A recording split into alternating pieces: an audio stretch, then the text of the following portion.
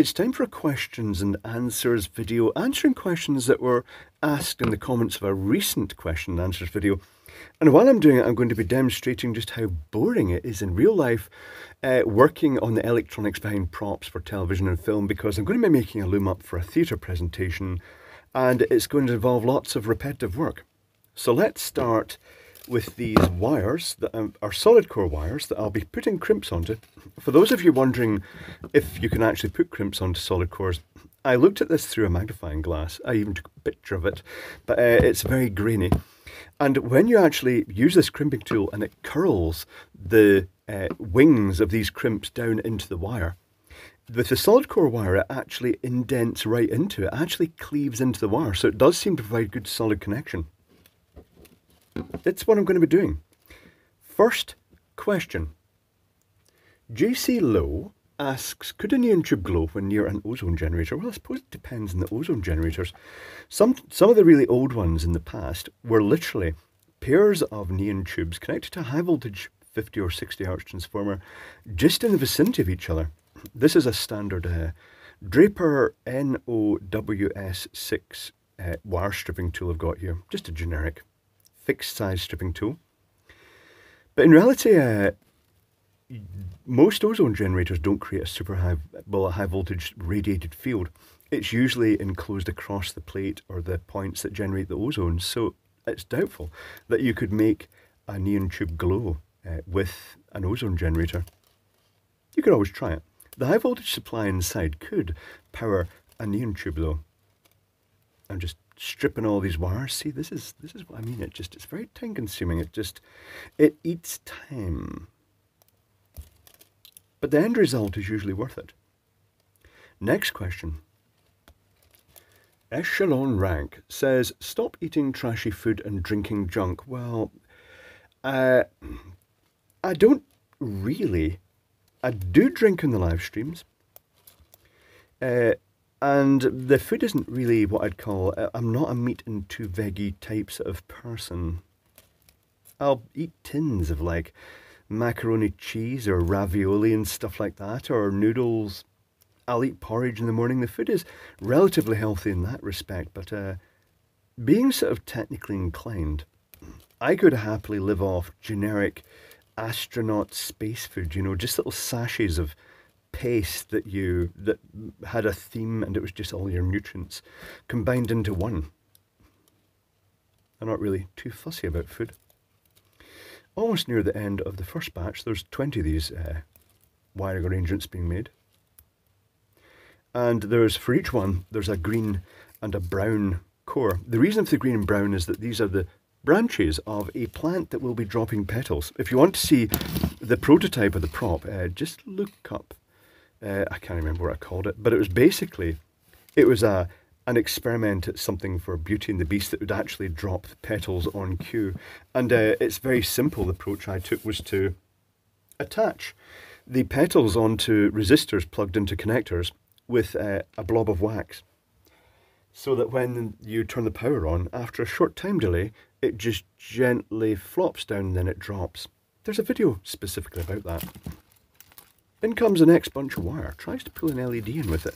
Um, tries to pull lots of stuff in with it. This is the peril of lots of loose wires at your bench. Try not to poke them into live terminals in the process. And I shall keep stripping them and answering questions. So, I'll get into the swing of stripping these first. Next question. Melted Camera asks, what is something that you really want to learn or expand your knowledge on? Um, I'd like to get more comfortable with welding, the different styles of welding, not just sort of MIG and arc, but actually TIG as well with different materials. Ideally, I'd want to master welding aluminium, but that is quite a complex thing.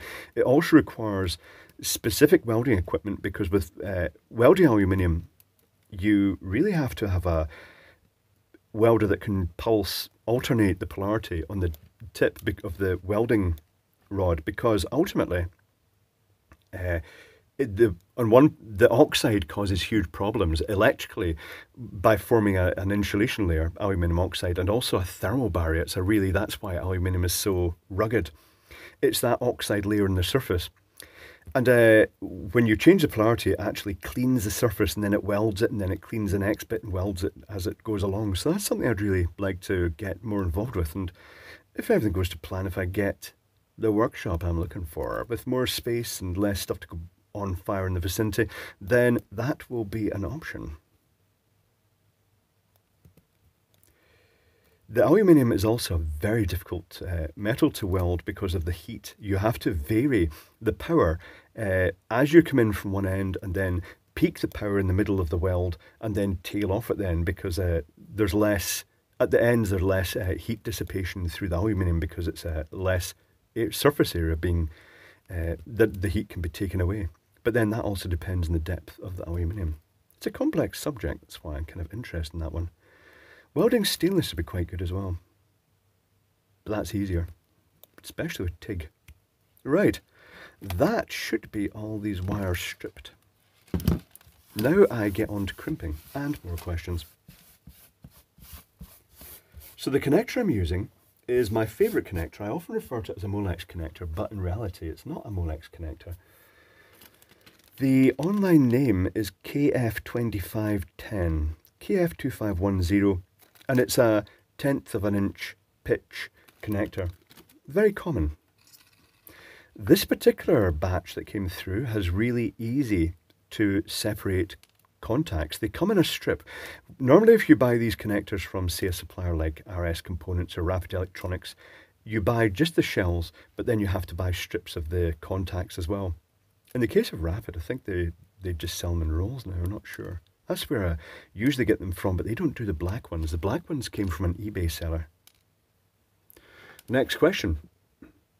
Jeremiah Fieldhaven, where do all the calculators go? Well, I'm supposed to say silicon heaven here.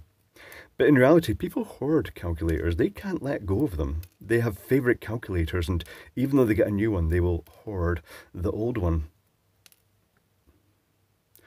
Olifan37, what do you call an adjustable wrench here?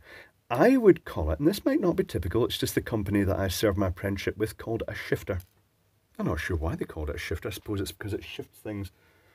And the electrical industry would be used with violence to shift things. Right, tell you what, we're on to crimping terminals now. So here's my crimping tool from Rapid Electronics. It's not an eBay special. So each terminal gets placed in, uh, closed down a bit, the wire gets tucked in with just enough to, for the insulation to actually be caught and then crimped. It's very much a touchy-feely by feel thing, but that's one terminal done. So let's uh, just keep plodding my way through these. Load the crimp in and crimp it. Very, very time consuming.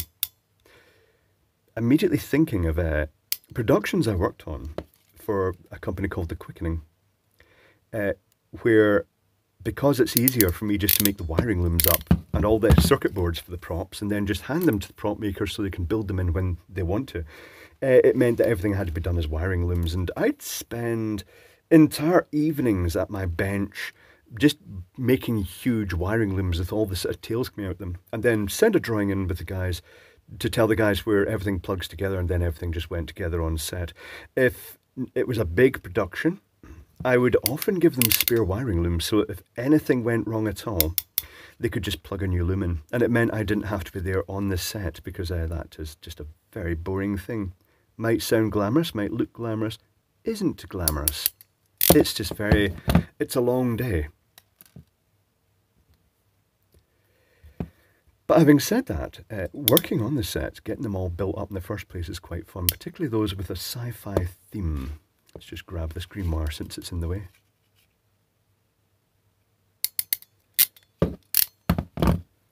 Next question.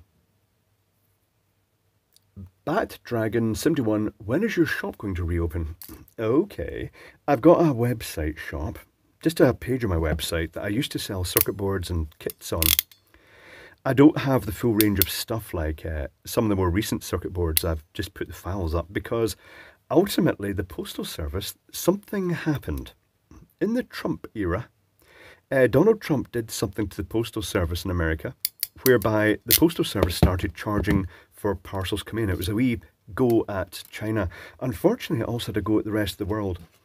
And uh, because of the increased charges in processing, the Royal Mail responded in the UK. Also, this happened round about COVID, which is just terrible.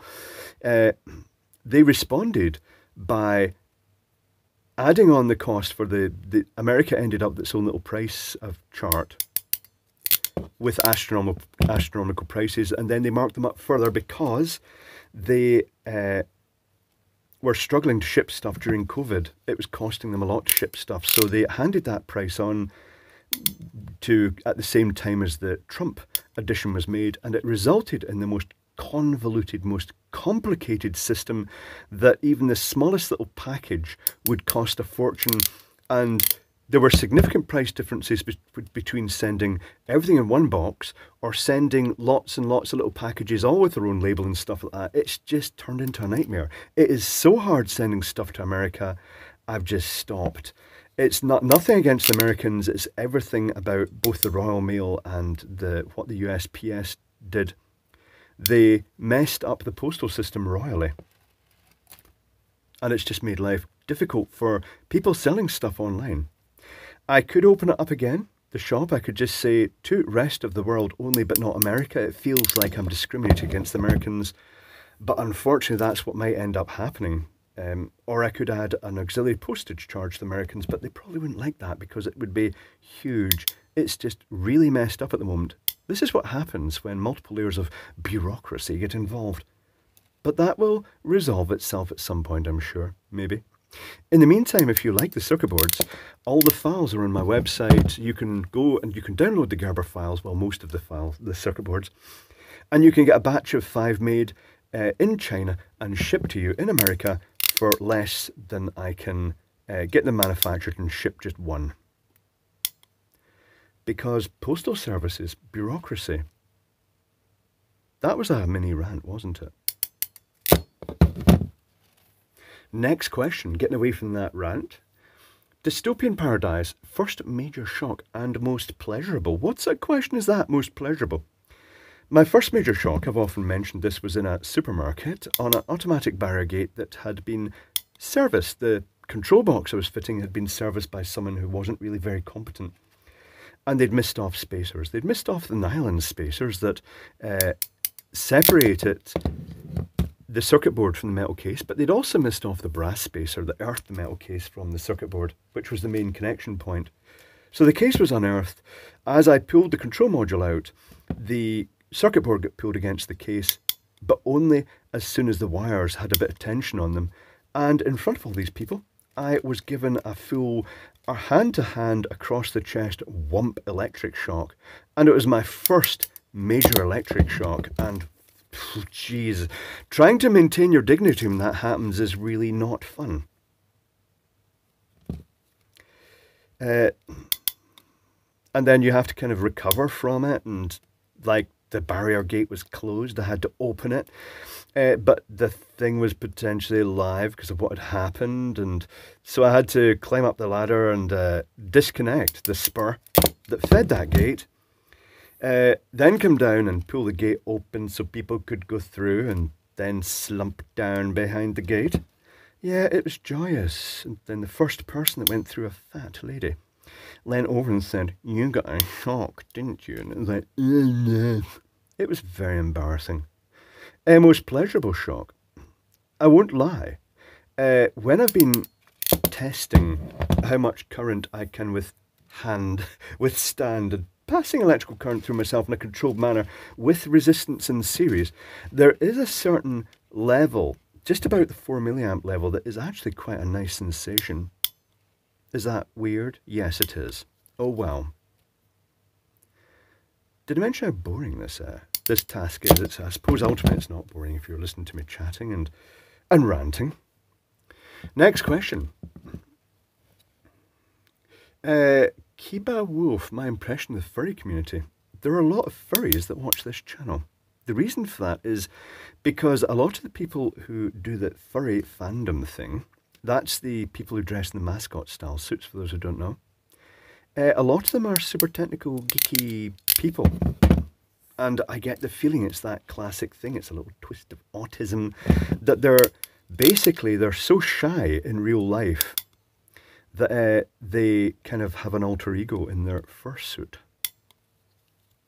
But they're usually extremely technical, but I've got the opinion that most fursuits have an engineer inside. Like engineers with fairly high profile jobs and interesting, yeah, interesting careers and like fairly prominent technical skills. Just seems to be that sort of weird thing. I'm going to have to turn the page over. I'm on to the next page of questions. Tom Miller says NTC for a 2000 kVA 240 to 110 volt site transformer, right? That's 2 kVA, by the way. That not 2000 kVA. That would be 2 megawatt. That would be really, that would be very heavy. So in the UK, we have building site transformers. The building site transformers uh, are basically a yellow box the handle on top, and they convert 240 volts down to 110 volts, center tap to ground, so it's 55 volts either side, and it's considered a safe voltage. You know, there's less risk of electric shock. Um, but they, because they're basically big transformers, uh, potted in resin, they tend to have quite a high inrush current, and this causes problems with type B in particular. Circuit breakers tripping when you plug them in. So adding an NTC inrush limiting resistor is actually a good idea, but I'd recommend getting ceramic terminal block for that because they can get hot.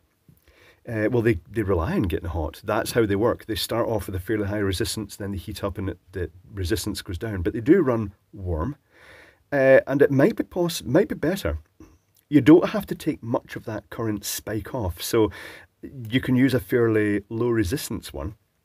But they, they tend to be rated on the diameter of the disc and the current they're designed to handle, and their uh, and their uh, start resistance.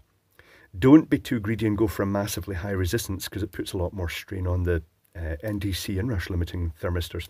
They're the little black discs that you see often inside. I'm just trying to see if I've got one handy here. Have I got one handy here? Yeah, that little black disc tucked in between the capacitors where it's out of sight. That is an NTC inrush disc, but they, they do them in quite big sizes. And uh, if you put one of those in a ceramic terminal block in series with the transformer, when you first turn it on, it will take away that initial zap. It will put a resistor in series briefly. And that can stop the circuit breaker tripping, which is useful.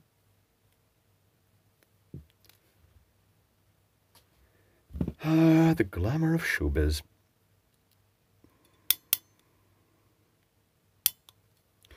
Definitely not as bad as many of the wiring looms have made though. This one only has about 40 tails to be made. Next question. Eric Swiger says, I worked with an electrician who would test live circuits by licking his finger and thumb and holding the bare wires. Now, as you get, if you work in the construction industry or engineering, you tend to have quite thick skin. You end up with just a thick, hardened skin layer. Uh, mine is not so thick these days. I must be leading a pampered life, but it used to be very rough and hard to the point it used to snag in some materials. And if you've got that thick skin, the layer of dead cells will limit the current through you. But although it used to be fairly common practice, and in the first electrician's guide that was ever printed, the first guidebook, they actually said you can sense when electricity is there by holding a wire and you will feel a strong tingle from the wire. In reality, they removed that very quickly because it turned out the difference between a strong tingle and sudden and violent convulsing death isn't really that much when you're using your bare fingers. Because, uh, as you may have seen the recent spam electrocution video I did, uh, the juicy meat inside you is very, very conductive. And the only thing that's insulating you in most instances is the environment you're in and the layer of dead skin cells in the front. If you lick your fingers, that's making it worse. I'm guessing that guy was in a fairly isolated environment, but you can't always rely on that. If you got used to just dabbing wires and feeling if they were tingly or not, you might do it while outdoors standing in the wet, and that would suddenly be a terrible experience. Water and ground, coupling you to ground makes a massive difference. Even wet wood or concrete makes a massive difference. So uh, I don't recommend doing that. The old timers did it.